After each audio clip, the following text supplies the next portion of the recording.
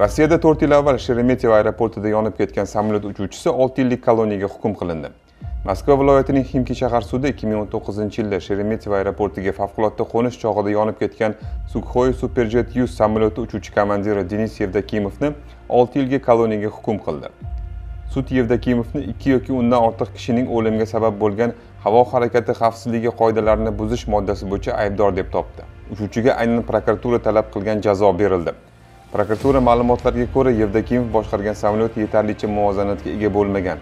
Qo'nish jarayoni haddan tashqari yuklanish bilan amalga oshirilgan.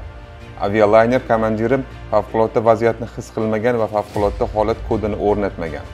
Ikki ming o'n to'qqizinchi yilning beshinchi may kuni moskvadan murmanskka uchayotgan aeroflot sukhoi superjet yuz samolyoti sheremetyevoga favqulodda qo'ngan edi. Samolyot qo'nayotganda yonib ketgan. Bortdagi yetmish sakkiz kishidan qirq bir nafari halok bo'lgan.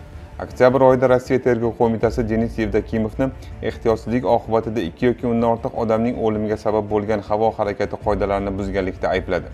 Yevdokimov aybini tan olishdan bosh tortdi. Uning ta'kidlashicha samolyot korpusi yong'inga uzoq vaqt bardosh bera olardi. Ammo yo'lovchilardan kimdir orqa eshikni ochgani sababli havo oqimi urib olov tezda salonga yopirilgan hodisada yo'lovchilar old eshiklardan evakuatsiya qilingandi. Hozirda yevdokimovning advokatlari sud hukmidan norozi bo'lib qarshi da'vo arizasi kiritish niyatidalar.